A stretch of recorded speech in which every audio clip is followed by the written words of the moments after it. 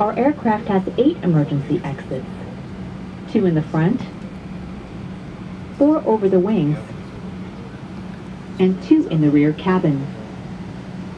They are marked with Ausgang or exit. Illuminated strips on the floor lead to these exits. To fasten your seatbelt, fit the two ends together.